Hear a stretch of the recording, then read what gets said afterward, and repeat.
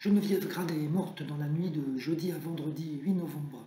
L'actrice de 80 ans est décédée à Blois, dans le Loir-et-Cher, au terme d'un combat courageux contre le cancer, comme l'a révélé son époux Jean-Guillaume. Elle a été révélée au cinéma dans La fille du maréchal des logis chef Ludovic Cruchot, incarné par Louis de Funès.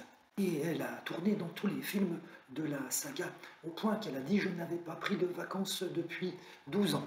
La suite de sa carrière a été bien plus discrète. L'actrice a quitté Paris pour s'installer dans le Gers. Et là qu'elle a rencontré Igor Bogdanov qui vivait au château de Saint-Lary.